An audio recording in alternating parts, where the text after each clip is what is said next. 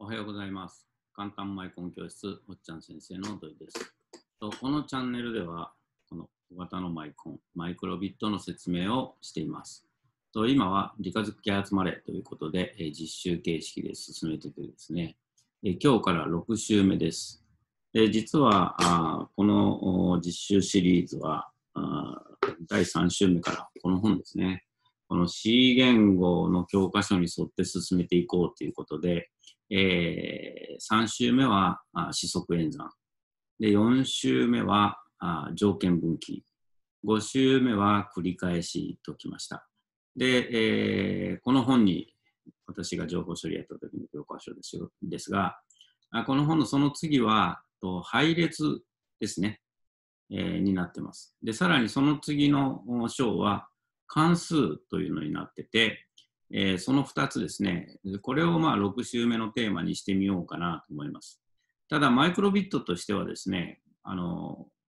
高度なブロックっていうところの中に配列も関数もあるんですね。だから内容的には高度なことにもなるし、実は私自身もその高度なブロックっていうところの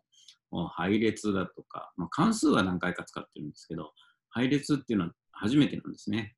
ちょっとぐらい準備して動画撮れよ って思われるかもしれませんけど、まあ、あの、ぶっつけ本番で、やっていきたいなと思ってます。ということでですね、と、まあ、知ってる内容であれば結構詰め込んでって言いますか、あの、なんていうんですか、どんどん進んでですね、やりながらこう、まあ、うまくいなしながらというか、応用しながらできるんですが、知らないことをやるとですね、よくつまずいてですね、真っ白になると いうこともあるんですけど、まあ、その辺も愛嬌だということでお付き合い願います。はい、では始めたいと思います。と、ブラウザーはいつものように、とインターネットブラウザーはあ Chrome というのを使って、えーさせていただきます。と、まずブラウザで新しいタブを開いて、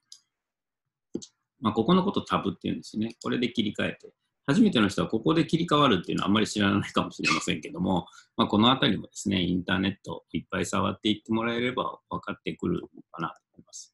で、検索サイトでマイクロビットって探すより、もう諦めてこう打ち込んだ方が、検索サイトにいっぱい教材のページが増えすぎて、なかなかこのページが見当たらないんですよね。だからもう直接マイクロビット .org と押してここへ来てください。で、日本語のページのように見えますが、実はこの、あの、Chrome っていうのを使うと自動翻訳がされてて、え母国語で見えるようになってます。で、これのコーディングしようというので、この Make Code Editor というエディターを使って、え編集をしています。で、ここですね。で、初めて来た人はここ真っ白だと思うんですけど、何度か作ってる人はここにどんどん作ったプログラムが増えていくということになります。こうやって名前のないやつにしとくとこんな風になっちゃうんですけど、まあ、今日も新しく作るので、こうやって作りましょう。で今日はまず配列からいこうと思うんで、うまく説明できるかどうか、自信がないのですが、うんと、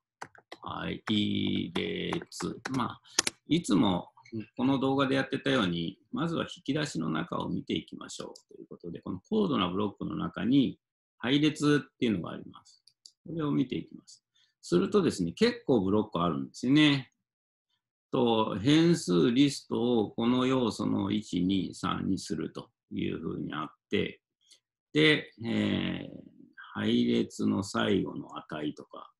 配列の最後にさらに追加する。配列を増やすこともできるみたいですね。配列の何番目に何々を入れるとか。これ英語のままですね。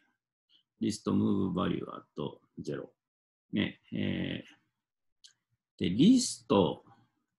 配列リストって出てくるけど、多分リストが配列なんでしょうね。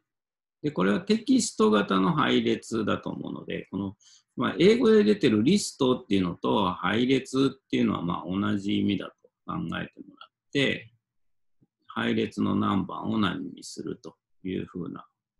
ものもあると。で、配列の中をこういうふうにすると。で、配列っていうのは、なんていうんですかね、背番号っていうか、まあ、学校で言うと出席番号みたいなイメージをしてもらったらいいんですかね。まあ、生徒さんが、まあ、5人、まあ、少なくしましょう。よ5人いると。なんで5にこだわるかというと、実はこの後このマイクロビットのこの LED でちょっと説明をしようとしているので、まあ、生徒が5人いると。で、A 君、B 君、C 君、D 君、E 君と、まあ、名前がついてるんですけど、と学校では出席番号ってつけますよね。出席番号1の人って言ったら、あはい、A ですって言って A 君が来るわけですよね。で、じゃあ出席番号3番の人って言ったら C, C さんかな ?C さんが来て、はい、私ですっていうふうに来るんですね。だから3番の人っていうとですね、なんかそそういう言い方良くないと思うんですけど、学校でね、3番の人っていうと、3番の人は、あ、私だってわかるわけですね。で、その3番の人の中にはいろいろあるんですね。名前であったり、性別であったりね。えー、で、それからな、なんていうかな、背の高さだったり、体重だったり、ね、血液型だったり。でただ、その3番の人っていうと、まあ、生徒さんっていうイメージの中に3番、3番の生徒さんは、あじゃあど、どんな特性を持ってますかっていうことで中身があるんですね。でそういうのを扱えるようにしたのが、あの、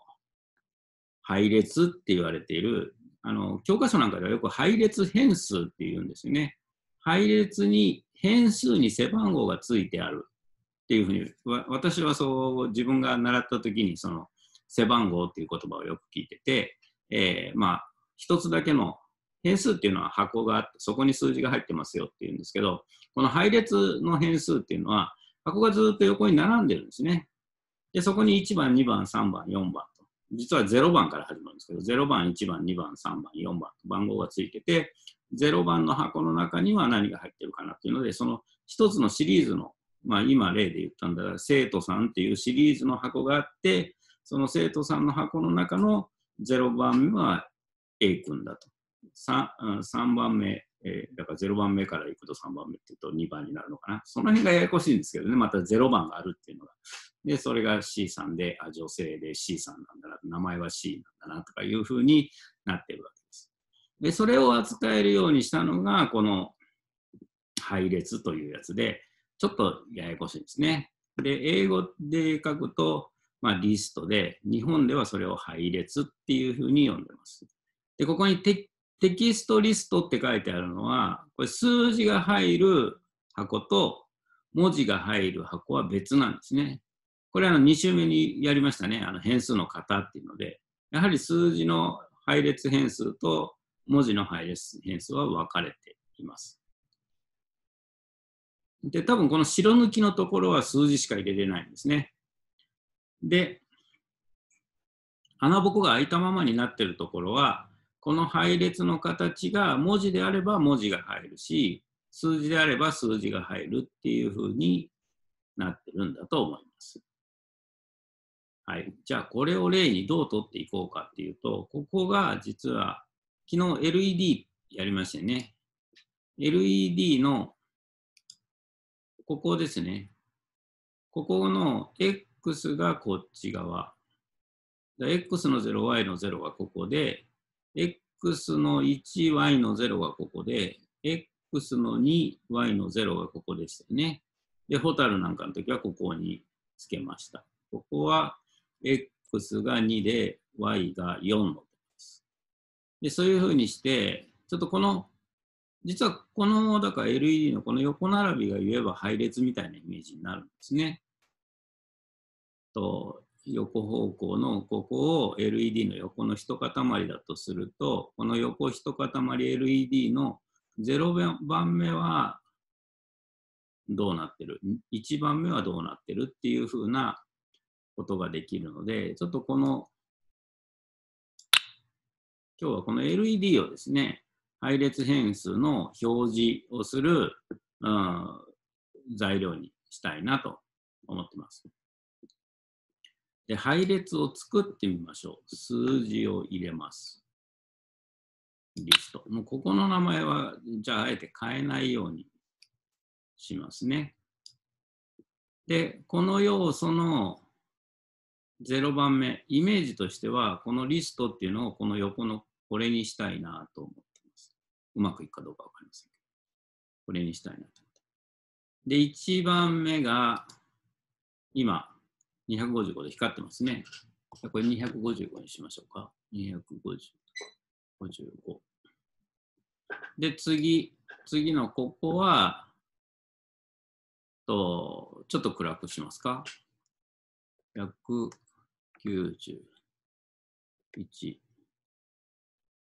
いい数字になってるかどうかわからないですけど。で、あ、これ消すと一つ消えちゃいます。増やそうと思ったんですけど。もう一回やりますね。191。で、次が127。次が63。で、次が0と。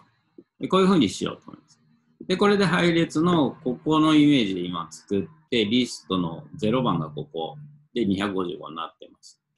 っていうのを順次表示していきたいな。今表示ついてるのはこれのせいなので、こいつ一回抜くと、これで変数作りました。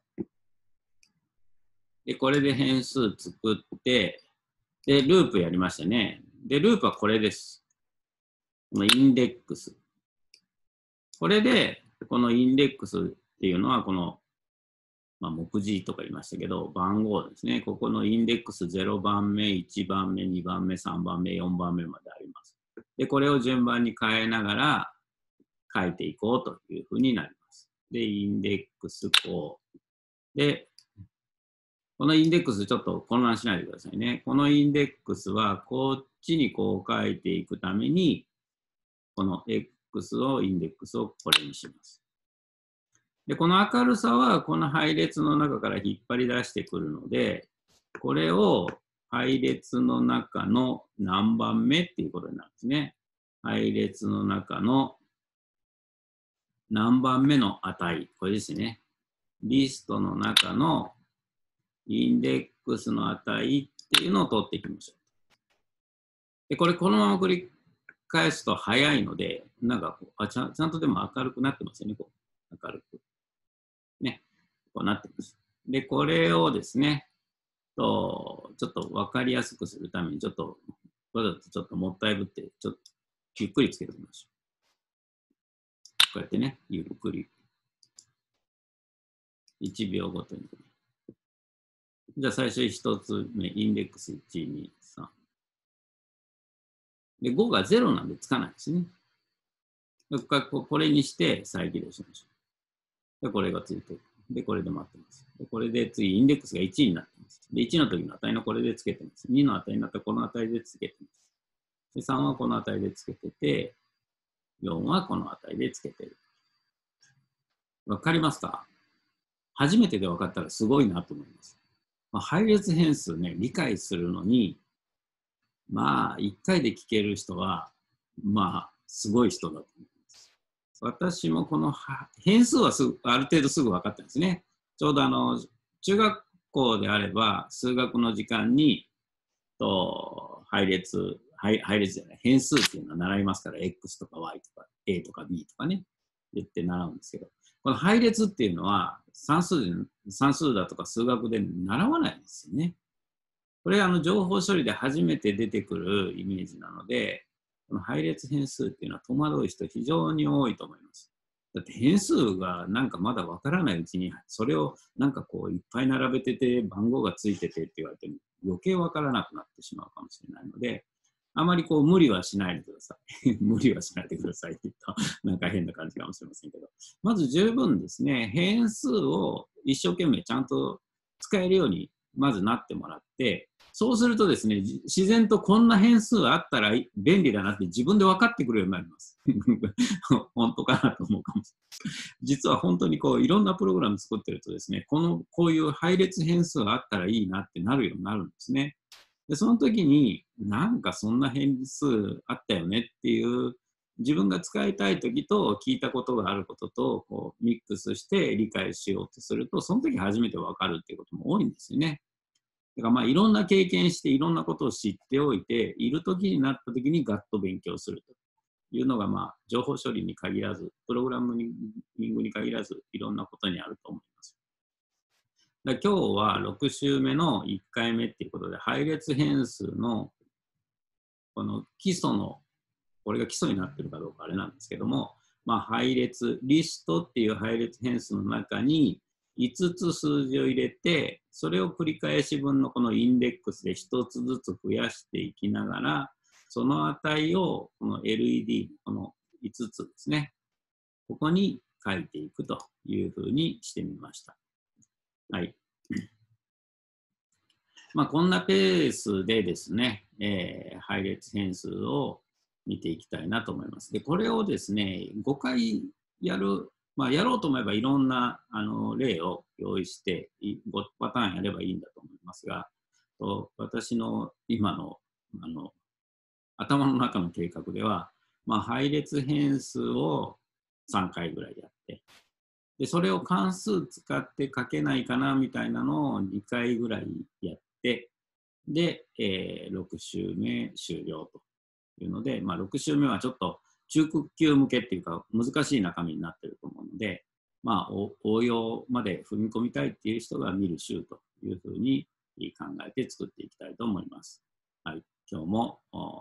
今日、今日もというか今日は変数をやりました。今日もご清聴いただきありがとうございました。